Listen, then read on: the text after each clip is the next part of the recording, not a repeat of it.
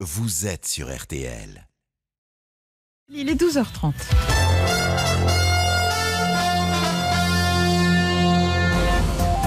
Le journal inattendu sur RTL 12h30, 13h30. avec Vincent Parisot. Bonjour à toutes et à tous. C'est donc un journal inattendu particulier que nous vous proposons aujourd'hui, comme depuis le début du confinement d'ailleurs, jusqu'à 13h30. On va prendre aujourd'hui le pouls d'un secteur euh, à l'arrêt et qui nous amène pourtant en temps normal tant de bonheur, de rire ou de larmes. Le spectacle. Le spectacle, c'est la vie. Certes, comme on dit, show must go on, mais aujourd'hui, il est en panne et, ne sait pas vraiment quand il pourra redémarrer et surtout comment il pourra le faire. Ce virus va-t-il changer la donne sur le long terme euh, ou alors ne sommes-nous que dans une parenthèse Comment envisager la reprise et d'ici là, comment tenir pour ces entreprises de spectacle On va en parler avec de nombreux invités. Gérard Drouot, le grand producteur de, de concerts rock, avec Jean-Marc Dumontet, euh, qui est patron à Paris de théâtre, Bobino ou le théâtre Antoine, avec Loïc Bonnet, qui est lui aussi directeur de théâtre, mais à Rouen, le théâtre à l'Ouest.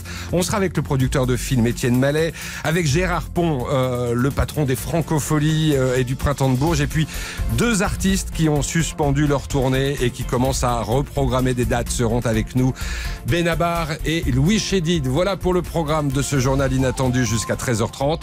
Mais avant cela, l'actualité de ce samedi 18 avril, euh, dominée par la fin de la polémique sur le confinement prolongé des personnes âgées. Après Emmanuel Macron qui assurait dès hier soir qu'il n'y aurait pas de mesures obligatoires, le président du conseil scientifique Jean-François Delfrécy s'est expliqué ce matin sur RTL. Vous l'entendrez. On aura peut-être d'ailleurs des précisions demain soir parce qu'Édouard Philippe doit tenir une conférence de presse. La bonne nouvelle de la matinée nous vient du Grand Est où l'amélioration se confirme. Le nombre d'appels au SAMU revient à un niveau normal. Illustration de cette baisse de tension dans les services d'urgence. L'hôpital de campagne militaire qui avait été installé à Mulhouse commence à être démonté. Mais bien sûr, le confinement se poursuit partout en France, y compris dans les secteurs les plus reculés. Nous irons dans les Vosges. Au menu également la reprise annoncée pour les kinés. Mais attention, ça se fera à distance. Et puis sachez qu'à Marseille, le préfet refuse le débarquement d'un bateau de croisière avec 1400 personnes à bord, dont plus de 400 Français. Euh, la météo, Valérie Quintin, ça tourne l'orage. Oui, ça y est, on a eu de très gros orages sur les Hauts-de-France euh, dans le courant de la nuit et une grande partie de la matinée. Alors ça, y a le gros des pluies est parti vers la Belgique, donc euh, les roses éclaircies vont revenir peu à peu. Ce sera pas forcément du grand ciel bleu, mais en tout cas, ça ira beaucoup mieux. Et dans le même temps, on a une ligne orageuse qui est en train de se mettre en place dans le sud-ouest. Elle va actuellement des Pyrénées jusqu'au Puy-de-Dôme. Ces orages vont remonter vers le nord-est au fil des heures de part et d'autre. On devrait quand même conserver d'assez belles éclaircies avec un petit risque orageux avant ce soir entre la Bretagne et la Normandie. Dans tout cela, les températures restent très douces, presque estivales. 17 degrés attendus à Quimper, 20 degrés à Rouen et Marseille, 21 à Pau, 22 degrés pour Paris cet après-midi, 23 à Montauban, 24 à Mâcon et 25 à Grenoble. Merci Valérie. Le journal inattendu sur RTL. La polémique commençait à prendre beaucoup d'ampleur. Une pétition lancée sur Internet avait même déjà recueilli plus de 80 000 signatures. La perspective d'un confinement prolongé après le 11 mai pour quelques 18 millions de personnes à risque, c'est l'atteinte de, certaines pathologies, mais aussi toutes les personnes âgées de plus de 70 ans commençaient à provoquer un, tollé. C'est sans doute pourquoi Emmanuel Macron est intervenu dès hier soir à travers un communiqué. Le président affirme qu'il ne souhaite pas de discrimination de nos aînés dans le cadre du déconfinement progressif. Le texte publié par l'Élysée précise d'ailleurs que le gouvernement en appellera à la responsabilité individuelle. C'est le professeur Jean-François Delfrécy, le président du comité scientifique, qui avait mis le feu aux poudres mercredi devant le Sénat en affirmant que les personnes âgées de plus de 65 ou 70 ans devraient rester confinées après le 11 mai. Et bien du coup, ce matin, sur RTL, en direct, il s'est expliqué. Je pense que j'ai été surtout mal compris. J'ai voulu indiquer, et je maintiens évidemment mes propos, qu'il y avait un certain nombre de personnes en France qui allaient demeurer à risque à la sortie du confinement. Parmi ces personnes, il y a les personnes qui ont plus en effet de 65 ans, il y a aussi d'autres personnes qui ont une, pa- une polypathologie, il y a aussi des adultes jeunes euh, qui sont par exemple obèses. Ces personnes restent à la sortie du confinement avec plus de risques de développer une forme grave. Ça, c'est un fait médical et je suis bien sûr obligé de le rappeler. Ensuite, il faut que ces personnes soient informées du fait qu'elles sont plus à risque. Mais la décision de ce qu'elles vont faire est évidemment une décision individuelle. Il n'est pas question de leur dire vous allez être restés confinés et c'est c'est une décision qui vient d'en haut et qui va vers le bas. Je n'ai jamais dit ça. Il, il faut évidemment faire confiance pour garder la confiance. Donc je crois qu'il y a une ambiguïté sur mes propos. Je maintiens mes propos sur les aspects médicaux pour pouvoir dire aux personnes qu'elles sont plus à risque et ensuite nous faisons confiance à nos citoyens. Voilà, Jean-François Delfrécy, le président du comité scientifique qui conseille les autorités. Il était donc ce matin sur RTL. Le déconfinement euh, et la manière dont ça va se passer, évidemment, tout le monde en parle, mais pour l'instant, rien n'est tranché. On en saura peut-être un petit peu plus demain soir avec la conférence de presse du Premier ministre, euh, Marie Mollet. Oui, premier objectif de cette prise de parole, faire le point sur le front sanitaire en présence de scientifiques chargés de donner des faits, des chiffres, Dixit Matignon. Mais le Premier ministre abordera également la stratégie de déconfinement. Pas de plan précis à ce stade, mais Édouard Philippe doit présenter les options à l'étude, les pistes qui restent à départager. En attendant, ces ministres sont à pied d'œuvre et sont en train de plancher sur des plans d'action en fonction de leur périmètre. Jeudi dernier, ils ont déjà transmis à Matignon une liste de questions à trancher. Par exemple, quel réseau de distribution pour les masques grand public? Combien de masques par Français doit-on fournir? Qui doit les payer? En tout cas, les ministres doivent présenter une première mouture le 22 avril, avant la présentation du plan de déconfinement par Édouard Philippe à la fin du mois.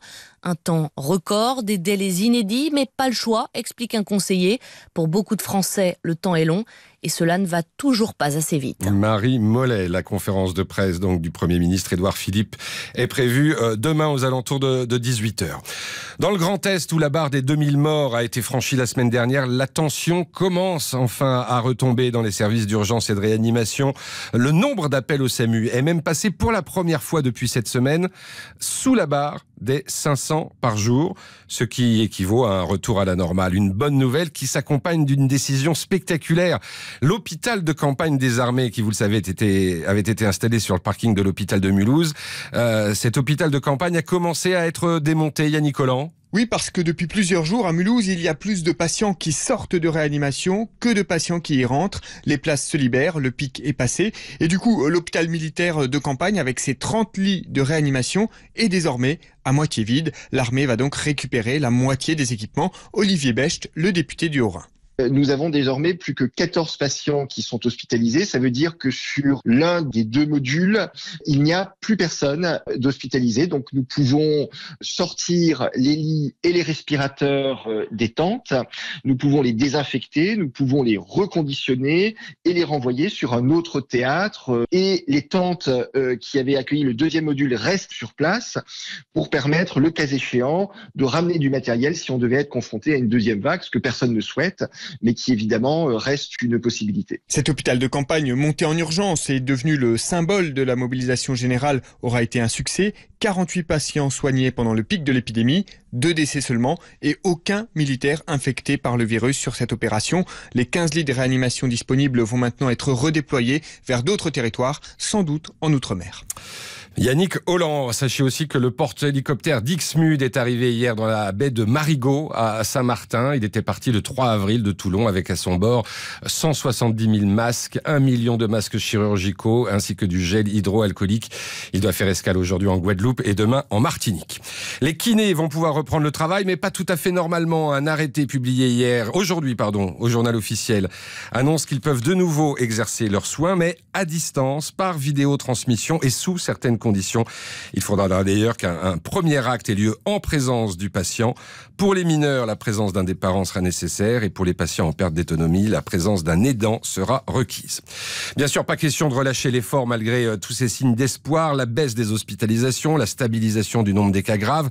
On a en effet enregistré hier encore 761 décès supplémentaires, 18 700 personnes ont succombé au coronavirus jusqu'à présent. Les forces de l'ordre continuent de faire respecter le confinement continue de dresser des procès-verbaux, y compris dans les coins les plus reculés de France, même s'il s'agit aussi de surveiller les habitations vides et de vérifier que les personnes isolées ne manquent de rien. Reportage dans les Vosges, Dimitri Ramelot. Dans la voiture sérigraphiée, le major Patrice Pulcher, commandant du peloton de gendarmerie de montagne, briefe son collègue. Le duo part pour deux heures et demie de patrouille à travers le massif. On va aller au refuge du Sautré pour voir comment ça se passe, le reconfinement, et puis ensuite, euh, s'ils ont vu euh, une certaine fréquentation Salut Jean-Marie. Ça va? Et derrière la porte, le propriétaire des lieux qui habite ici à l'année, les militaires viennent deux à trois fois par semaine, son seul lien avec l'extérieur. C'est plutôt rassurant et puis c'est agréable aussi de discuter cinq minutes. Si jamais il y a besoin de produits de nécessité euh, alimentaire, on, on demanderait à Patrice ou à ses collègues, bien évidemment. Et le temps de prendre un café, il faut repartir plus haut, vers le Honeck qui surplombe la plaine d'Alsace. Objectif, vérification des volets et portes d'un restaurant inoccupé le temps du confinement. On vient deux à trois fois par semaine. Et il reste plus que la porte de garage. Tout est bon. Et en cas de problème, les gendarmes appellent le propriétaire pour prévenir. Toujours pas la moindre présence, ou presque. Benoît Maps, le collègue de Patrice, sort donc ses jumelles. On constate qu'il y a plus de chamois que de pratiquants, voilà. Donc, euh, si jamais il y a des personnes qui s'aventurent sur des sentiers, on ira les voir et on ira euh, leur dire euh, s'il se passe quelque chose, vous allez forcément être évacué vers un centre hospitalier le plus proche. Et en ce moment, on sait très bien qu'ils n'ont pas besoin de ça ici, surtout dans la région. Aucun état d'âme à verbaliser, néanmoins, comme ce cycliste intercepté à 50 km de chez lui. Mais Patrice et Benoît savent aussi faire preuve de discernement. Dans sa remorque, on voit qu'il a des barrières, que c'est un pick-up, c'est un, un gérant d'une ferme auberge. Donc on s'arrête pas? Non, on n'a pas besoin. Pas un randonneur ou touriste aperçu dans la matinée. La prochaine patrouille partira dans l'après-midi, faire respecter le confinement sous toutes ses facettes. Reportage signé Dimitri Ramelot. Allez, dans un instant, les spectacles, la culture face au coronavirus. The show must go on. Oui, mais quand et comment On va parler théâtre, cinéma? On sera avec Louis Chédid, avec Benabar. Et puis dans un instant, avec un grand producteur de, de concerts rock, Gérard Drouot. À tout de suite. 12h30, 13h30. Le journal inattendu sur RTL. American woman, get away from me. American woman, mama let me be. American Woman, Lenny Kravitz. Lenny Kravitz qui fait partie des, des artistes que vous produisez en, en concert et que vous connaissez bien. Bonjour Gérard Drouot. Bonjour. Merci beaucoup d'être avec nous euh, sur RTL. Tiens, commençons juste par cet exemple de, de, de Lenny Kravitz. Euh, euh, des concerts étaient prévus en, en France, c'est cela? Euh, des concerts sont prévus dans toute l'Europe. Euh, et Lenny avait prévu d'ailleurs de répéter avec ses musiciens américains à Paris dans les semaines qui viennent, et il peut pas le faire évidemment. Hmm. Donc euh, actuellement, euh, les- la tournée européenne est tout à fait en danger parce qu'il y a des festivals, beaucoup de festivals en Europe euh, n'auront pas lieu. Et maintenant, depuis l'interview du président, depuis l'allocution du président Macron, on sait que les festivals en France ne peuvent pas avoir lieu jusqu'au 15 juillet au moins. Euh, donc euh, très très probablement, ça sera annoncé dans les jours prochains. La tournée de Lénine ne, ne N'aura devrait pas pas, lieu. pouvoir avoir lieu. Ouais, Voilà. En tout cas, pas pour l'instant. Quelle est la situation pour, euh, pour vous aujourd'hui en tant que producteur, euh, Gérard Drouot? Évidemment, aucun spectacle n'est possible, on l'a compris. Mais que se passe-t-il pour ceux qui étaient prévus? Alors justement, vous venez de parler de Lenny Kravitz, mais en ce mois d'avril, en mai, voire euh, en juin, des concerts étaient annoncés. Ben, bien sûr, on avait déjà reporté des concerts qui étaient annulés sur le mois de mars, sur le mois de juin, parce qu'on ne s'attendait pas à une durée aussi longue. Donc, euh, nous sommes dans un processus actuellement de report à nouveau des spectacles de juin, qui sont des, des spectacles aussi familiaux. Je produis les Harlem Globetrotters. Euh, je fais pas que du rock. Hein, euh, parmi les Bruce Springsteen, les CDC ou les Lenny Kravitz, je fais du jazz aussi. Donc tous ces concerts sont reportés. Euh, pour certains à l'automne, beaucoup pour 2021. La plupart des artistes qui devaient se produire dans les festivals de 2020 vont se produire sur les éditions 2021. Par contre, pour les tournées, ben, on ne sait pas aujourd'hui quand vont pouvoir rouvrir les salles de spectacle, parce que j'entends dire, euh, par exemple, pour les, les trains ou les avions, qu'on peut envisager de mettre un voyageur sur deux avec une, une place vide entre les deux.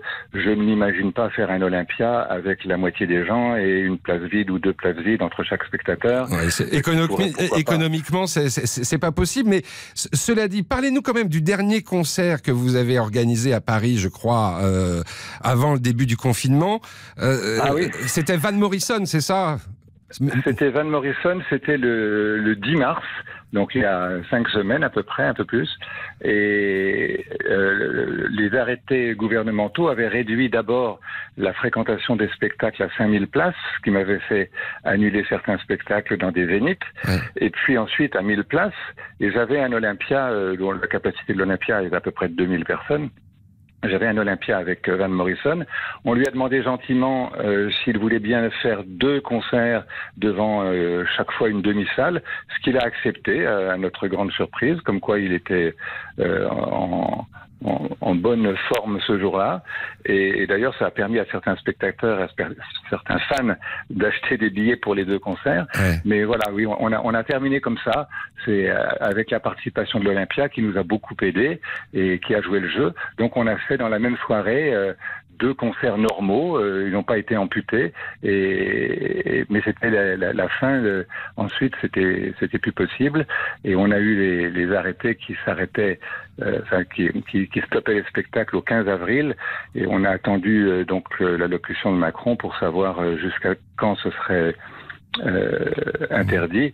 Pour l'instant, nous n'avons pas de date, euh, il n'y a pas d'arrêté précis qui est sorti et on ne sait pas exactement quand on va pouvoir reprendre les spectacles. Hum, Quand, et, comment Euh, Faire des concerts pour moins de 1000 personnes, euh, assurer au moins un mètre entre chaque spectateur, voire obliger les spectateurs à porter un masque. Euh, franchement, Comment- vous pensez que c'est en- c'est envisageable pour un spectacle, pour un concert, un concert de rock ou autre d'ailleurs hein? Non, non, non, euh, ce serait envisageable euh, théoriquement dans un théâtre ou dans une salle avec des sièges, mais il y a aussi beaucoup de spectacles avec des fausses debout. Vous me parliez de Lenny Kravitz, quand on joue à Bercy, le parterre n'est pas n'est pas assis, donc les gens sont debout. Comment voulez-vous faire respecter des des distances de sécurité avec des gens qui qui sont tous debout et qui se s'agglutinent vers l'artiste et vers la scène. Ça, c'est inenvisageable. C'est, je suis, je suis pour trouver des moyens pour faire respecter euh, euh, la sécurité sanitaire. euh, dans- de même que après les attentats du Bataclan, ben, tout d'un coup, on s'est mis à, à mettre des portiques de sécurité, à vérifier si les gens n'avaient pas d'objets contendants ou d'armes sur eux. Donc, on peut mettre en place des systèmes pour vérifier et être certain que euh, les gens ont, éventuellement du, gel, qui se, qui se protègent, etc., qui se lavent les mains ou autre.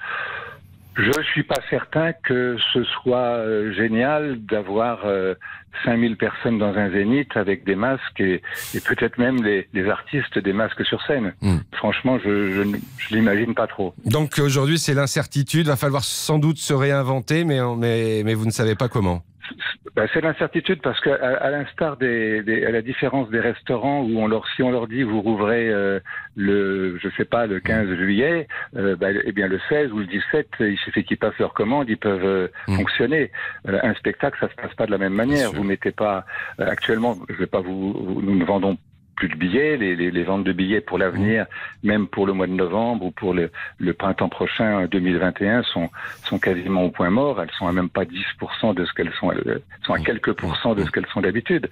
Donc euh, il faudra plusieurs semaines, voire plusieurs mois entre la levée de l'interdiction de l'ouverture des salles de spectacle et le redémarrage de notre activité, qui sera quand même une activité qui permettra aux gens, euh, je dirais, de, de, de une sorte d'antidote euh, euh, à une dépression. Bien euh, sûr. parce que euh, faut pas faut pas oublier qu'actuellement le confinement n'est pas forcément la meilleure chose pour euh, la santé morale de- des Français. On a hâte, évidemment, on a hâte que ces concerts reprennent. Et si on a déjà des billets pour des concerts qui sont toujours programmés, on les garde parce que. euh, ça- On- on peut- le, mieux, c'est de les garder, sauf s'il y a des changements de salle. Dans ce cas-là, on est obligé de changer la billetterie. Mais tous les concerts qui sont reprogrammés, et euh, actuellement, je passe plus de temps à reprogrammer des concerts qu'en temps normal, on garde les billets. Euh, Bon, nous avons d'autres problèmes avec nos assureurs, par exemple, parce que euh, évidemment nous sommes couverts pour ce genre de risque. Enfin, pas tous mes collègues, mais dans ma société, je suis couvert pour les, les pandémies. Et ce qui s'est passé, c'est que euh, dès que nous avons déclaré les premiers sinistres, euh, no- notre assureur, qui est le, euh, un groupe français qui s'appelle Areas, euh, quelques semaines après, nous a envoyé une lettre recommandée euh, pour nous dire qu'elle rompait le contrat. Donc, euh, c'est- pour vous donner une idée, c'est un peu comme si, alors, que nous sommes couverts, Ouais. c'est un peu comme si euh, vous êtes couvert pour une- un incendie et vous avez le rez-de-chaussée qui est en train de brûler et tout d'un coup l'assureur vous envoie une lettre en vous disant ah bon bah on vous couvre le, le- le- le rêez-de-chaussée mais on va on vous couvre pas le Et premier et pour le reste, on, on arrête. Et ça sera peut-être compliqué de, de, de trouver des, des, assureurs. Merci beaucoup, en tout cas. C'était un plaisir de vous avoir avec nous, euh, Gérard Drouot, euh, de, de, Gérard Drouot Production, bien évidemment. Alors, de la salle de concert, on passe à la salle de cinéma avec un grand producteur de films, Étienne Mallet. Bonjour.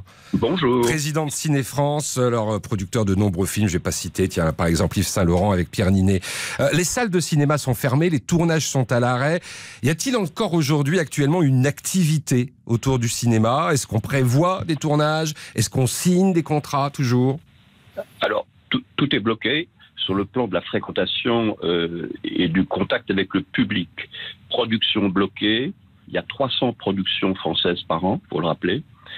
6000 écrans de cinéma fermés, fréquentés par environ 200 millions de personnes. C'est énorme. Euh, 300 000 salariés qui ne savent pas très bien ce qui va se passer et qui sont inquiets. 300 000 salariés, c'est autant que l'industrie agroalimentaire, hein, pour vous vous rendre compte. Donc ça veut dire que le cinéma traverse une crise grave et douloureuse. Alors, euh, ça ne veut pas dire qu'elle reste évidemment euh, inerte, Mmh. euh, même si malheureusement le contact avec le public, pour les raisons d'ailleurs qui viennent d'être dites euh, très bien par Gérard Dros, sont euh, impossibles. Et on ne voit pas très bien quand, être, quand va être la sortie du tunnel. Euh, mais ça n'empêche pas, et ça ne nous empêche pas, nous par exemple, de travailler la suite. Oui, bien sûr. Travailler les, les films, euh, voir quand est-ce qu'on pourra les sortir. Euh, un film, si vous voulez, il, il, il, faut savoir que ça dure au moins trois ans entre le moment où on a l'idée euh, et le moment où il sort sur l'écran. Bien sûr. Donc, il y a cette période, je dirais, de confinement qui ne stoppe pas du tout ce travail euh, préalable, euh, mais qui est évidemment euh, pas du tout satisfaisant puisqu'on n'en voit pas le, la sortie pour l'instant. Pour l'instant. Et alors justement, comment vous l'envisagez la reprise? Pensez-vous qu'on va pouvoir remplir les salles de cinéma comme avant ou qu'il faudra là aussi respecter des règles, euh, remplir les, les, salles à moitié seulement, porter alors, des si masques? voulez, je, je, crois que le sujet est, est, est, est sur la table, que au fond personne n'a en l'état une euh, règle et une solution, je dirais, euh, miracle, euh, car les contraintes, si vous voulez, sont par nature euh, très difficiles à contrecarrer. Le, le, une salle de cinéma, si vous voulez, c'est une euh, salle de, où il y a beaucoup de gens. Euh, un tournage, un tournage, par exemple, sûr. ils sont tous bloqués pour l'instant. Hein. Euh, il y en a au moins une centaine qui sont bloqués. Euh, le, un, un, tournage, ça veut dire que c'est des contacts entre les gens. Bien sûr. Euh, et puis on voit, mal, on voit mal des acteurs mettre des masques. Ouais. Donc pour l'instant, vous n'avez- vous n'avez aucune perspective, vous n'avez pas de date. Non, et- alors, si et- vous voulez, non, pour Ouais. l'instant, on n'a aucune perspective, parce que je pense que c'est très difficile, honnêtement, pour les pouvoirs publics d'en avoir de manière Ouais, euh, ouais, certaine, Mhm. parce qu'au fond, on ne connaît pas exactement l'évolution, la rapidité d'évolution Mhm. et, et- et la rapidité de la décroissance du virus. Mhm. Donc c'est extrêmement difficile, si vous voulez, d'avoir une, une- au fond une, une vision claire de ce qui peut se passer. Alors je crois qu'il faut attendre, il faut se préparer à, à pouvoir reprendre, évidemment dans les meilleurs délais, peut-être en organisant un certain nombre de mesures euh, de style barrière, ne pas remplir complètement les salles, Ouais. euh, dans, dans les dans les tournages, faire en sorte qu'on respecte un certain nombre de distances ouais, ouais. mais, mais, mais, mais, euh, mettre des médecins, faire des tests, mais tout ça est sujet à, à discussion Bien sûr. et et n'est pas facile à résoudre. Ouais, j'imagine qu'au moment de la reprise, dans un premier temps, c'est peut-être les, fiches qui- les, les films qui étaient à l'affiche euh, la semaine où tout s'est arrêté qui, qui, qui pourront euh, repartir. Mais est-ce que vous pensez que la vidéo, euh, Netflix, vont, vont, vont être les grandes gagnantes? La, la vidéo à la demande euh, Oui, alors je, je pense que si vous voulez, en l'état aujourd'hui, on le constate, si vous Mm. voulez, euh, effectivement, les, les, les plateformes, pas seulement Netflix, hein, il y a Ouais, des a plateformes bien nombreuses, y compris des plateformes françaises euh, Ouais. très bien faites, hein, euh, qui euh, évidemment aujourd'hui rencontrent une, une vraie audition, une vraie, une vraie, une vraie, oui, beaucoup de gens la regardent. ouais. À la télévision aussi, dans les grandes chaînes, notamment sur M6, on passe des films souvent de répertoire euh, qui ont beaucoup de succès. hein. Euh, et, et donc, et donc le, le film continue. Ouais, bah, bien sûr. Ah, bah ça, vous voyez, ça, c'est, ça fait plaisir. Le film continue et on espère très vite le, le revoir dans les salles. Euh, merci beaucoup. En tout cas, c'était, c'était très intéressant d'avoir la, la température de ce qui se passe aujourd'hui dans le monde du cinéma, que ce soit dans les salles et bien évidemment dans les, dans les tournages. Merci beaucoup, Étienne Mallet. Euh, on parle musique à présent. Vincent Parisot. Le journal inattendu. Et si un jour j'arrive au port, si ce jour-là je respire encore, j'irai couvrir de baisers la statue de la liberté. Je me suis fait la belle, je me suis fait la belle, je me suis fait la belle, tchou, tchou, tchou, tchou. Je me suis fait la belle, je me suis la belle. Je me suis fait la tchou, tchou, tchou, tchou. Je me suis fait la belle. Je me suis fait la belle. Je me suis fait la tchou, tchou, tchou, tchou. Je me suis fait la belle. Je me suis fait la belle.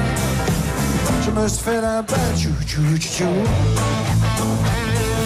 Ah, c'était dans le grand studio RTL il y a quelques semaines. Bonjour Louis Chédid. Bonjour, comment allez-vous? Ça va très bien. Vous avez envie de vous faire la belle de là où vous êtes confiné Non, écoutez, là, je, je, je suis pas à plaindre, je suis à la campagne, donc euh, c'est vrai qu'il y a de la nature autour. euh, Je peux aller faire des quelques pas euh, en dehors, etc. Par rapport à certains amis qui sont à Paris, vraiment confinés dans un appartement, etc.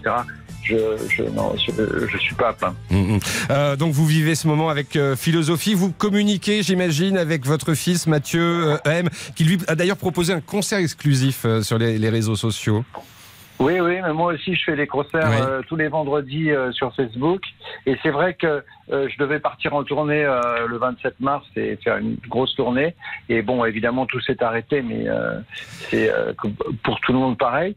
Vous Mais, commencez à reporter des dates. hein. J'ai j'ai vu ça Oui, pour oui. l'automne, pour, à partir de septembre, octobre. On, on re- on reporte tout à l'automne, à partir d'oct- d'octobre en fait.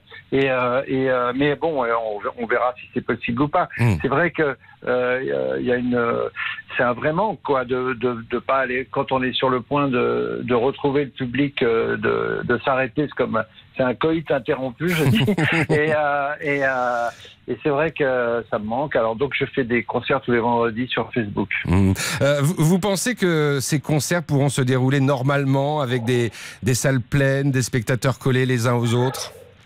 Vous savez, je ne sais pas, hein, tant qu'on n'y sera pas, on peut pas savoir. Euh, c'est vrai que euh, je pense qu'il y aura, il y aura aussi euh, de la part du public un, un, un manque qui, qui, qu'il faudra, com- qu'il faudra compenser. Je pense que quand on, aura la sensation que tout a repris son cours, c'est-à-dire que euh, que ça a repris son cours, je pense que les gens, euh, oui, iront dans les salles. Il y aura sûrement un- une période de crainte, une période de, euh, de frein comme ça, et puis et puis euh, et puis il suffira que quelques spectacles commencent, se fassent pour que les gens viennent et, euh, et puis que ça se passe bien. Parce que je veux dire, ça peut pas durer euh, indéfiniment. Éternellement, Sinon, parce qu'on a vraiment hâte de, de- de vous, retourner- de, de vous retrouver et d'aller euh, en concert, euh, vous entendre avec vos plus grands tubes. hein. T'as beau pas être beau, oh, oh, oh, monde cinglé, hey, j'étais dans la peau,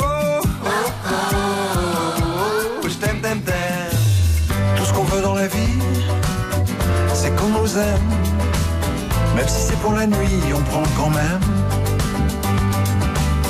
Des parents, des amis, qui nous comprennent.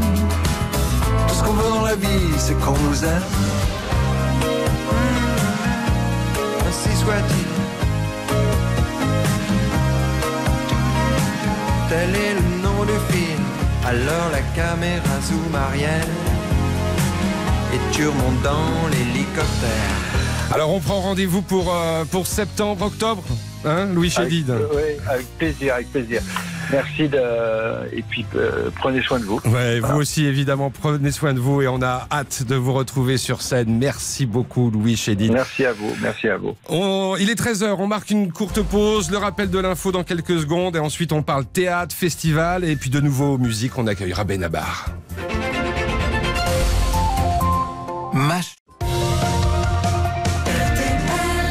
13h01. Journal inattendu sur RTL. 13h, les titres de l'actualité, Vincent Parisot. Une actualité dominée par la fin de la polémique sur le confinement prolongé des personnes âgées après Emmanuel Macron qui assurait dès hier soir qu'il n'y aurait pas de mesures obligatoires. Le président du conseil scientifique Jean-François Delfrécy s'est expliqué sur matin sur RTL et il confirme. On aura peut-être des précisions demain soir. Édouard Philippe doit tenir une conférence de presse un peu avant 18h. La bonne nouvelle de la matinée nous vient du Grand Est où l'amélioration se confirme. Le nombre d'appels au SAMU revient à un niveau normal. Illustration de cette baisse de la tension dans les services d'urgence. L'hôpital de campagne militaire installé à Mulhouse commence à être démonté. Les kinés vont pouvoir reprendre le travail, mais pas tout à fait normalement. Un arrêté a été publié aujourd'hui au journal officiel. Il annonce que les kinésithérapeutes vont pouvoir de nouveau exercer leurs soins, mais à distance par vidéotransmission et sous certaines conditions. Et puis à Marseille, le préfet des Bouches-du-Rhône refuse le débarquement d'un bateau de croisière. À bord, 1400 personnes, dont plus de 400 Français, mais pas de cas de coronavirus à l'intérieur. La météo, des orages nombreux cet après-midi des Pyrénées au nord-est, des éclaircies de part et d'autre avec quelques ondées orageuses prévues près des côtes de la Manche et en Corse. Les températures seront comprises entre 15 et 26 degrés. Il fera 22 degrés à Paris, à Bordeaux, à Nantes ou à Orléans. Le journal inattendu sur RTL, Présenté par Vincent Parisot. Alors allons maintenant au théâtre dans ce journal inattendu consacré au monde du spectacle et au coronavirus. Alors on ne parle pas du théâtre euh, subventionné mais bien du théâtre privé euh, qui souffre énormément puisque lui aussi est à l'arrêt à Paris comme en région. Alors commençons par la capitale avec un homme qui est un incontournable dans ce milieu, euh, directeur de plusieurs théâtres parisiens, le théâtre Antoine, Bobino, le théâtre Libre, également producteur de nombreux humoristes. Bonjour Jean-Marc Dumontet. Bonjour. Euh, si je peux me permettre, sur une échelle de 1 à 10, aujourd'hui, quelle est votre morale? Sur le plan professionnel, hein, Euh, j'entends. 10, 10. C'est vrai? 10. Pourquoi 10 Mais oui, parce que, euh, attendez, ce serait indécent. Euh, on est en bonne santé, Ouais. on est vivant. Euh, ce serait indécent de rajouter de la catastrophe à la catastrophe sanitaire. Euh, donc les exploits que réalisent les soignants en permanence, les exploits que l'hôpital public, que l'hôpital privé aussi a réussi à mettre en œuvre en multipliant euh, leurs capacités, en poussant les murs, nous indiquent que le courage, la volonté sont des bonnes réponses. Donc oui, évidemment, c'est la catastrophe. Tout s'est arrêté, on est les premiers arrêtés, on sera les derniers à démarrer. Mais ça sert à rien de le dire. Donc à nous de mobiliser, de nous mobiliser le jour venu. Donc, Les soignants, les soignants notre- vous ont montré l'exemple, c'est ça ce que vous voulez nous dire mais évidemment, les soignants nous montrent l'exemple et même toute la société française nous montre l'exemple. On pense qu'on est un pays indiscipliné. Regardez les efforts qui sont accomplis. Regardez tout ce pays qui vraiment se confine et fait les efforts. Ça doit inciter à l'optimisme. Bien évidemment que c'est dur, mais c'est dur pour tout le monde. Et bien évidemment que nous, on est frustrés parce que notre vie, c'est d'être sur scène, c'est de délivrer des beaux spectacles, et là, on est impuissant. Alors, on va attendre, on va laisser passer l'impuissance, et puis demain, il faudra redémarrer. Moi, mes pensées, elles vont évidemment aussi à tous les festivals qui peuvent pas se tenir. Euh, on parce va, que on- pour on va eux, en c'est une parler des festivals euh, tout à l'heure avec Voilà. Gérard Ponte du Printemps de Bourges, des Francopholies. Voilà. Mais, mais, mais, mais pour vous, pour vos salles, euh, euh, en termes, j'allais dire, d'équation économique, vous pensez pouvoir tenir combien de temps euh, Ben, vous savez, on est très privilégié avec le, le chômage partiel qui a été mis en place, Mm. euh, ce qui fait que les, les, les entreprises ont des charges beaucoup moins lourdes puisqu'il y a le, le recours au chômage partiel. Donc ça nous permet en ce moment de tenir. On est un peu, si vous voulez, dans une sorte de coma. On est entre parenthèses. Ce qui va être difficile, c'est qu'on ne connaît pas notre date de redémarrage. Donc, quand on ne connaît pas notre date de redémarrage, on ne peut pas préparer les spectacles qui seront demain à l'affiche. On peut pas les préparer évidemment d'un point de vue artistique, mais ça, on peut trouver des, des, des prouesses pour le faire à distance. On peut travailler à distance, même si évidemment le travail sur le plateau est nécessaire. Mais c'est surtout commercialement que c'est compliqué, parce qu'aujourd'hui c'est impossible de mettre à l'affiche un spectacle et de vendre des places pour septembre ou octobre. Le public, ça ne l'intéresse pas. Ah. Donc on est dans cette équation et cette difficulté là. Euh, ça, c'est intéressant ce que vous nous dites, parce que vous dites même si on a une date, pas certain euh, que, le, que le public va vouloir tout de suite en masse revenir s'enfermer dans les salles, c'est ça? C'est pas qu'il n'ait pas envie de s'enfermer, c'est qu'aujourd'hui, c'est pas l'objet de ses préoccupations. Mmh. Donc euh, aujourd'hui, c'est inaudible pour le public, c'est c'est pas pensable d'aller réserver des places pour un spectacle. C'est pas qu'il aura peur, il y aura évidemment des gens qui auront peur, mais il y aura aussi des gens qui auront un vrai appétit. Donc c'est pas ça qui, qui nous qui nous angoisse, c'est juste il faut du temps pour lancer un spectacle. Il faut du temps, ce temps il est incompressible. Et quand vous ne connaissez même pas la date de redémarrage, ben, c'est impossible pour nous de faire des plans euh, sur la comète et d'imaginer des spectacles. Alors, c'est euh, tout. ouais, bien sûr, je, je comprends. Interrogation sur le quand, mais aussi interrogation sur le comment. Euh, Est-ce que vous pensez que vous pourrez reprendre dans des conditions normales, en tout cas comme avant? On n'en sait rien. Vous savez, euh, personne n'a de certitude. mmh, Personne n'a de certitude sur cette euh, sur ce virus.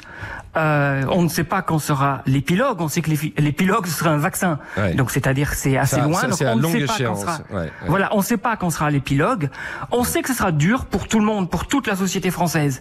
Et bien maintenant, il faut que chacun retrousse ses manches et fasse tous les efforts pour que le jour J, on gagne. Vous savez, après la, après la guerre, toute la France s'est remobilisée. Et les dégâts étaient bien supérieurs. Le pays était par terre et moralement aussi par terre. On y est parvenu. Je vois pas pourquoi on n'y parviendrait pas. Simplement, on va avoir des périodes très dures, très difficiles.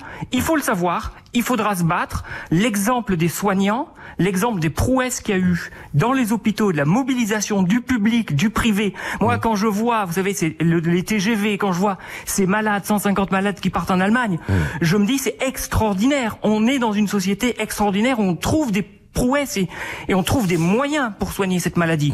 Eh ben, à nous, chacun, on est chacun porteur euh, demain de la renaissance de la société française et de l'économie française Ré- qui sera sinistrée. Restez avec nous, Jean-Marc Dumontet. Votre combativité, votre optimisme font, font plaisir. Euh, restez avec nous parce qu'on va en région avec euh, le directeur du théâtre à l'Ouest. Euh, C'est à Rouen. Euh, bonjour Loïc Bonnet. Bonjour Vincent.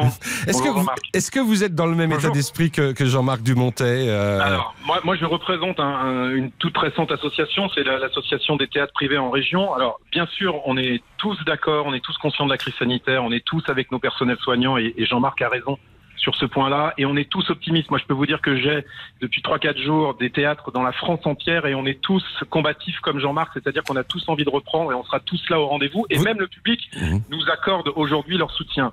La seule différence peut-être avec Jean-Marc et avec les théâtres parisiens qui sont des grosses structures en général, alors il y a des gros frais, il l'a dit, euh, il s'est mis en gel. Il y a énormément de théâtres en province aujourd'hui qui ne seront plus là, Jean-Marc, à la sortie de la crise si on ne nous aide pas. Et aujourd'hui, personne ne nous aide. Euh, C'est-à-dire qu'ils vont devoir mettre la clé on sous la pas- porte? Bien sûr, aujourd'hui, il y, a des- il y a des théâtres qui ont 13 000, 15 000 euros de trésorerie. Il y a des théâtres qui en ont 200 ou 300 000 euros, parce qu'il faut parler de chiffres à un moment donné, mais il y a des théâtres aujourd'hui, moi j'ai des directeurs de théâtre aujourd'hui, euh, tous les jours au téléphone, qui ne savent pas s'ils vont survivre à cette, à cette crise. Et il y a des syndicats aujourd'hui à Paris, il y a un ministre de la Culture qui a fait des annonces à Paris, mais nous on est tout seuls dans nos villes, on n'a aucun relais aujourd'hui de ce qui se passe à Paris dans nos régions. J'ai eu Bertrand Tamin, le président du SNDTP, le syndicat national des théâtres euh, privés, euh, hier au téléphone, qui m'a dit vous inquiétez pas, il y a 5 millions d'euros, mais on ne sait pas qui va les distribuer, on n'est pas au courant. Si je lis pas le Parisien et que je l'appelle, c'est moi qui l'ai appelé. Personne ne nous appelle. J'ai eu euh, hier le témoignage de Lumi. Lumi, c'est les bars, restaurants, et on pense à tous ces gens-là parce qu'on a aussi des amis en province qui ont Bien des bars et des restaurants. Hmm. Eh ben, ils sont tous les deux jours dans le bureau de Bruno Le Maire. Ils l'ont dit. Nous, on est tout seuls en province. Pensez à nous. On a besoin de votre aide. Moi, j'ai écouté le président de la République euh, euh, lors de sa première intervention. Il a dit quoi qu'il en coûte. Eh bien, quoi qu'il en coûte, c'est sauver ces petites entreprises parce qu'aujourd'hui, les théâtres privés en région représentent une centaine de théâtres. Il faut bien le savoir. Aujourd'hui. De plusieurs sources, Vincent, excusez-moi, je suis un peu long, mais Non, non, non, non, engagé, non, mais- non, mais c'est passionnant, de, oui. de plusieurs sources, on sait que euh, au ministère, ils pensaient qu'il y avait 12 théâtres privés en province. On est plus de 100, voire Ouais. 150. On représente 60 millions d'euros de chiffre d'affaires. On représente 3 millions de spectateurs. On fait vivre 500, 600 personnes directes et 25 000 levées de rideaux. Ça veut dire 1300 spectacles. Ça veut dire 15 000 artistes, des artistes, des comédiens bien sûr, mais des auteurs. Et aujourd'hui, tous ces lieux, on a besoin d'abord de se faire entendre que quelqu'un nous écoute et quelqu'un nous appelle. Aujourd'hui, je n'ai eu, euh, euh, je vous dis que Bertrand Tamin qui n'a eu comme réponse que de me dire je ne sais pas. Ouais. Et voilà. Et aujourd'hui, il y a des lieux qui ont peur parce qu'ils ont des loyers. Euh, Jean-Marc Dumontet, je ne sais pas si vous, vous avez la chance, vos théâtres, de ne pas avoir de loyer, mais il y a des lieux aujourd'hui qui ont des loyers avec, avec des Jean-Marc, oui, Jean- qui Dumontet. les loyers. Vous, vous Voilà. entendez ce que nous dit euh, à l'instant euh, Loïc Bien- Bonnet, c'est-à-dire que le théâtre, c'est pas que Paris. Voilà. Bien, alors je suis, je suis convaincu de ça. Le théâtre, c'est toute la France, et je suis surtout convaincu d'une chose, c'est que les aides doivent être fléchées en priorité vers les petites structures, et que on ait un certain nombre de gros théâtres parisiens. On n'a pas besoin d'aide, on a déjà le chômage partiel. On est déjà euh, vraiment Alors, nous sous aussi, hein, oxygène grâce au chômage partiel. On a, aussi, on a aussi le chômage partiel, heureusement. Bien On a- sûr, on a bien sûr, salariés, bien euh, sûr. Mais euh, les, les petites structures, les petites structures, ce sont elles les plus fragiles. Et c'est toute l'effervescence de demain, c'est tout le tissu des jeunes auteurs, des jeunes compagnies. Et c'est en priorité vers elles qu'il faut flécher les aides. Voilà, Et il doit y depuis avoir deux jours, aussi... on, on- il on doit y avoir un mobilise des de artistes, que solidarité. vous devez connaître. On, on mobilise des artistes euh, depuis deux jours. On a eu les réponses de Gad Elmaleh, de Franck Dubos, d'Elysée Moon. Tous ces gens-là ont démarré dans nos lieux, Mm. nous soutiennent et on va faire une vidéo là d'ici deux trois jours qui va sortir sur les réseaux avec tous ces, ces gens-là. Parce que c'est c'est pas que nous, c'est tous ces artistes-là. Encore une fois, si demain on reprend comme Jean-Marc le dit et qu'on a envie et que les gens ont envie, mais si ces lieux ont porte close, Bien qui sûr. va venir créer les spectacles et où vont-ils créer leurs spectacles en province? Dans Voilà. ce que disait Jean-Marc Dumontet, c'est priorité euh, aux petites structures, en tout cas. hein. Euh, Ce sont, va- elles, ce sont elles les plus fragiles, Bien ce sûr. sont elles qui ont le moins accès au crédit bancaire pour des questions de surface, de parfois de crédibilité économique, sans que ce soit du tout péjoratif, mais de d'antériorité. Donc ce sont elles, évidemment, c'est tout ce tissu, Hmm. tout ce tissu qu'il faut préserver. Et, et- et surtout, euh, moi, je, je voulais préciser, Vincent Oui, et Luc Jean-Marc, on fait ça pour l'humain. La plupart des, des directeurs qui se battent, on n'a jamais rien demandé à personne. hein. Nous, on- nos lieux vivent sans subvention. Je, je tiens à préciser que c'est vraiment des théâtres privés. Non, sans subvention. je- je tenais- je on n'a jamais demandé d'aide à personne et on n'en veut pas. C'est juste que depuis l'arrêté préfectoral, on est interdit d'ouvrir. Ouais. Et, et on fait ça pour l'humain. On est un tissu social en province. Vous pouvez même pas vous imaginer du nombre de gens qui viennent chez nous et qui sont contents de venir parce que c'est des lieux souvent intimistes. Alors ils voient leurs stars, ils voient leurs, euh, et aussi plein de petits artistes hein, qui démarrent. Oui, oui, mais par exemple, juste avant la, la fermeture, vous deviez faire venir Gad Elmaleh, c'est ça, non Bien sûr, on avait Ouais. Gad Elmaleh qui devait venir le 26. Alors on essaye de le recaler en septembre. Jean-Marc, j'entendais qu'il qu'il recalait des spectacles. Ouais. C'est c'est ça le plus dur aussi pour nous, c'est qu'on n'a pas de date. On ne sait pas quand est-ce qu'on va pouvoir rouvrir, euh, rouvrir et on n'a aucune perspective d'avenir. Pour l'instant, on n'a aucune perspective d'avenir. Alors on se bat tous les jours. Et merci de nous avoir euh, donné la parole parce que euh, voilà, vous Eh ben, le eh ben, parce que le spectacle, c'est la vie, parce que vous nous faites euh, rire, pleurer, vivre tout simplement tout au long de l'année. Et on a vraiment hâte que ça reprenne très vite, le plus vite possible et dans les meilleures conditions. Merci à Loïc Bonnet, c'est le théâtre à l'Ouest notamment, hein, mais euh, il, représente les théâtres de région. Euh, merci aussi à, Jean-Marc Dumontet euh, pour euh, les théâtres parisiens, ces théâtres à Paris, mais je pense qu'il parlait pour tous. Euh, tiens, dans un instant, on va parler des festivals, du printemps ou de l'été. Euh, les festivals qui vont vivre une année blanche, c'est terrible. On sera avec le patron du printemps de Bourges et des Francopholies, Gérard Pont. À tout de suite. Le, le journal inattendu sur RTL. Présenté par Vincent Parisot. Encore un peu plus fort la Rochelle, allez reste, allez reste encore un peu. Toi et moi, devenir mieux, allez reste, allez reste encore un peu. Toi et moi,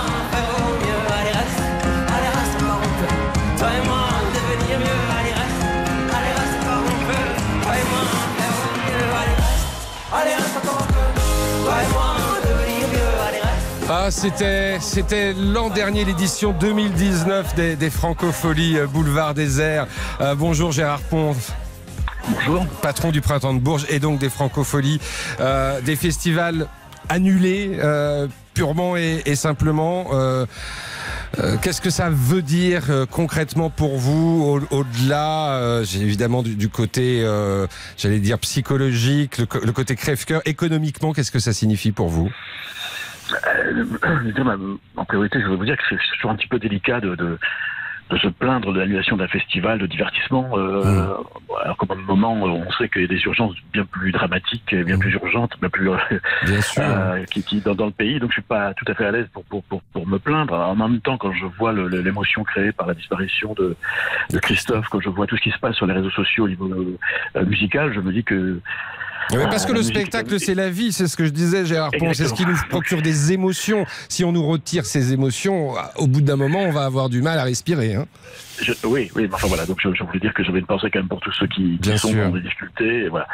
Euh, après, bah, oui, c'est ce qui, ce qui est embê- bah, ce qui c'est juste pas nous, c'est toute, si je prends les francopholies, c'est toute une, une région, un département, une ville euh, qui, qui vont souffrir. Je pense à, à tous les emplois qui sont générés par euh, par le festival immédiatement, c'est-à-dire les techniciens, les inter- intermittents, les, les sociétés de nettoyage, de, de gardiennage, les hôteliers, les, les restaurateurs, les, et bien, tout, vous savez, quand il y a 200 000 personnes qui arrivent sur 5 jours sur une ville, non seulement ils, consomment, mais en plus, en général, ils se promènent dans le département, dans, dans, dans la région. Euh, là, les Charentes, je crois que c'est le premier département touristique en France. Donc, je sais, je, ça va avoir des conséquences euh, pour euh, tous ces gens-là, et, et, et ça m'inquiète pour eux, parce que ce sont des partenaires très importants aussi euh, pour le futur du festival. On a 350 entreprises qui sont partenaires du club entreprise, et, et je pense vraiment à eux. Je, ils ont été très très solidaires jusqu'à présent, mais je sais que ça va être difficile pour eux, et ils font partie de, de, de l'économie euh, du, festival. sûr. Voilà, ça, c'est ma- il n'était pas possible de, les- de- de les reprogrammer, ces festivals, à l'automne, par exemple euh,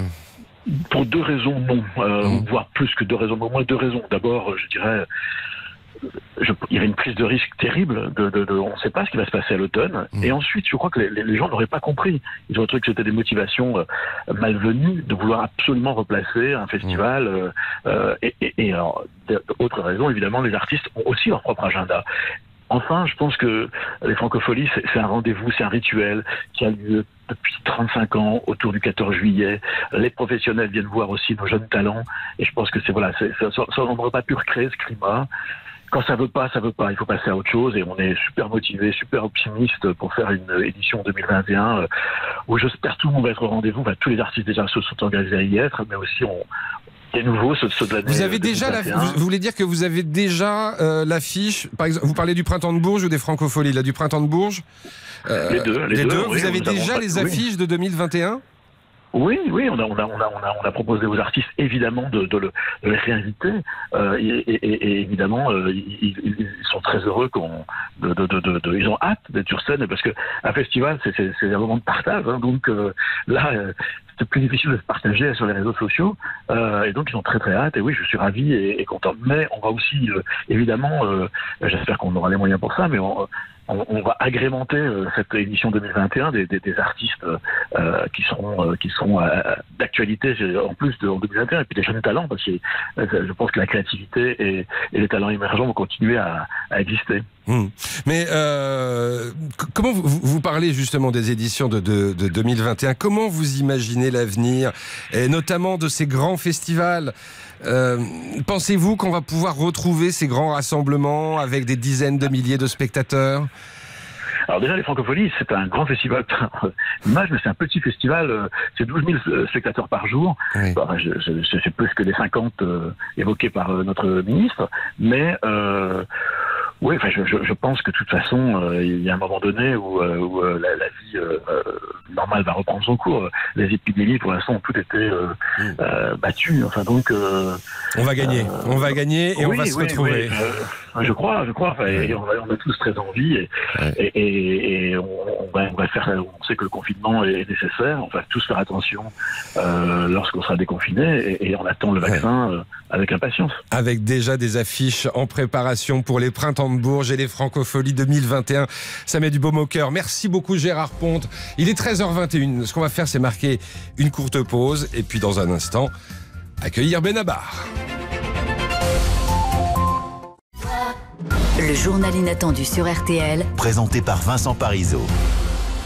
Vois comme s'enflamme ce qui nous consommait. Soyons pyromanes des entraves qu'on avait.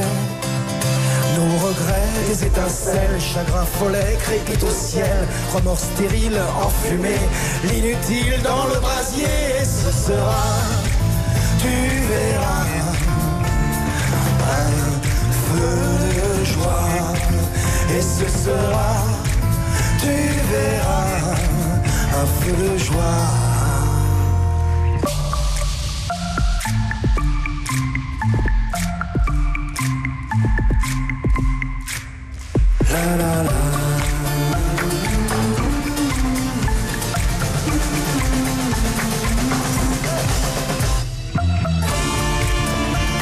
Ah, qu'est-ce qu'on a envie de, de revivre rapidement ces, ces moments d'émotion, ces moments de live, ces moments de scène. Bonjour Benabar. Bonjour. Merci d'être avec nous à distance, évidemment. Euh, vous êtes confiné chez vous? Oui, je suis confiné chez moi, oui, absolument, en, famille. Comment vous vivez la, la situation? Ah, En famille, donc tout le monde est là autour de vous euh, ouais. et, pourtant, vous, vous continuez à, à jouer. Je sais que vous avez fait des vidéos, vous avez notamment rendu euh, hommage aux soignants avec un titre, alors un titre de votre dernier album qui s'appelle Chevalier sans armure. Oui, puis un titre, je, je précise, hein, que j'avais fait il y a 4 ans déjà. Euh, j'essaie de, de faire des vidéos, ouais, parce que c'est, mais, mais pas trop. J'essaie de pas être trop, trop présent. euh. je trouve qu'il y a beaucoup, beaucoup de, de, de vidéos euh, et que le public est bien assez sollicité comme ça. Et surtout, je trouve qu'il y a plein de vidéos des, des gens eux-mêmes qui sont pas forcément euh, chanteurs ou chanteuses, qui sont super. Donc, je passe surtout du temps à, à regarder, à écouter ce que font les, les gens, pas forcément les, les, les gens connus entre guillemets. Ouais, mais quand vous avez choisi ce titre Chevalier sans armure pour parler des, des soignants, j'imagine évidemment que ça résonne particulièrement. Euh, l'i- L'idée que ça patauge pas mal euh, sur la protection des soignants à travers les masques et autres, c'est quelque chose qui vous a heurté, vous? Écoutez, moi, moi, je, moi, j'essaye de, de, d'appliquer ce qu'on me demande vraiment avec beaucoup de discipline. Moi, je, je suis vraiment très bon élève. Moi, je veux pas rentrer dans une non, bien polémique, surtout en ce moment, quoi. Mm. C'est-à-dire que je pense qu'il faut faire front, euh, tenir bon, euh, Et groupé. puis encourager les gens. Puis penser évidemment, on le dit souvent, mais il faut le répéter, euh, évidemment au, au personnel soignant, aux malades aussi qui sont, qui, qui sont dans la difficulté. Puis tous les gens aussi qui, qui vivent le confinement dans des conditions difficiles. J'y pense beaucoup parce que moi, je fais partie des chanceux. On a un bout de jardin.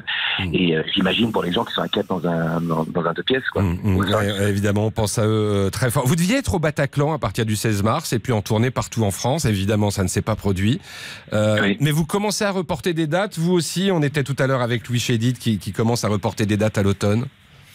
Oui, on commence à reporter les dates à l'automne, mais un peu dans, dans l'expectative encore, puisqu'on ne sait pas ce qui va se passer à l'automne. Euh, Et puis encore une fois, hein, c'est- c'est c'est vraiment euh, anecdotique. Ce qui compte, évidemment, c'est c'est la maladie elle-même et puis les gens euh, potentiellement touchés. hein. C'est à eux que je pense, hein, pas, pas à, nos, à, à nos dates ou reports. C'est Pour moi, ça me semble très, euh, euh, très euh, comment dire, euh, Superficiel, abstrait, très abstrait, secondaire, abstrait. Oui, Oui, mais même si j'ai encore beaucoup de- beaucoup d'importance moi à la musique en Voilà. général et puis à, à tout à tout euh, à la littérature à tout Mm. ça mais c'est le- mais c'est vrai que c'est ça passe un peu au deuxième plan en ce moment quoi là, là, le, le moment est à la, au combat quoi. On, on comprend bien. Cela dit, vous devez avoir hâte de, de- de proposer à vos fans les titres qu'ils attendent. On, on- on s'offre quand même un petit, un petit florilège. hein. C'est l'effet papillon. Petite cause, grande conséquence. Pourtant jolie comme expression. Petite chose, dégâts immenses. C'est l'histoire de l'agneau qui invite le loup à manger. C'est l'histoire du cochon, apprenti charcutier. C'est l'histoire du canard qui trouve sympa d'être laqué. C'est l'histoire du pigeon qui, enfin bref, vous avez compris l'idée. On s'en fout, on n'y va pas. On n'a qu'à se cacher sous les draps. On des pizzas. Toi, télé.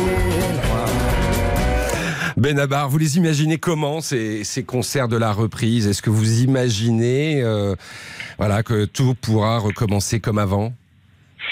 Comme avant, je sais pas. Je suis un peu comme nous tous, je pense. Je suis un peu, euh, euh, comment dire, pas sidéré, pas jusque là, mais un peu vraiment dans l'attente, très, euh, très perplexe sur ce qui va se passer, en espérant qu'il va en sortir du bon.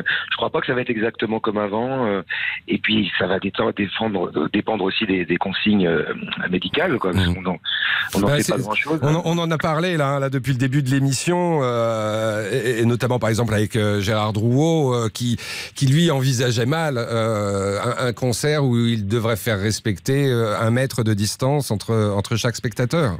Ben oui, ex- exactement. C'est sûr que les mesures euh, bah, dites barrières, c'est un peu euh, contradictoire avec le fait même de faire un concert, parce que le but du jeu, c'est c'est de se toucher, d'être là, d'être côte à côte, de chanter, donc euh, pot- potentiellement de postillonner. Enfin, c'est c'est vrai qu'il y a quelque chose d'assez in- incompatible, en effet.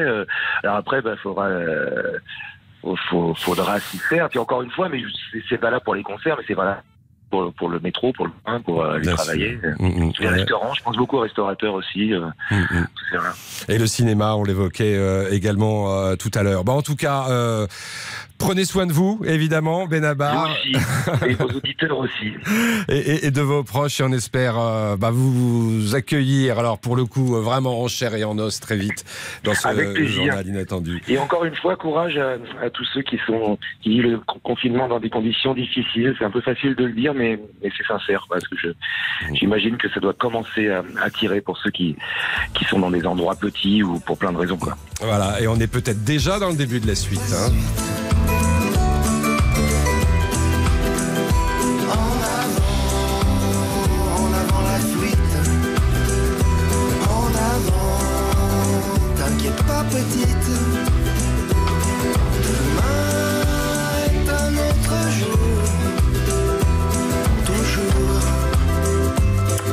Voilà, merci beaucoup à, à Benabar, euh, Merci à ainsi qu'à merci beaucoup, à bientôt, ainsi qu'à Louis Chédid, euh, Jean-Marc Dumontet, Loïc Bonnet, Gérard Drouot qui, est avec, qui était avec nous, ainsi que Étienne Mallet et, et Gérard Pont, le patron des Francopholies et, et puis euh, du Printemps de Bourges.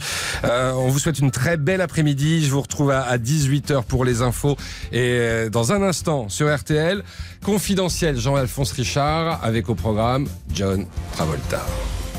Le journal inattendu sur RTL.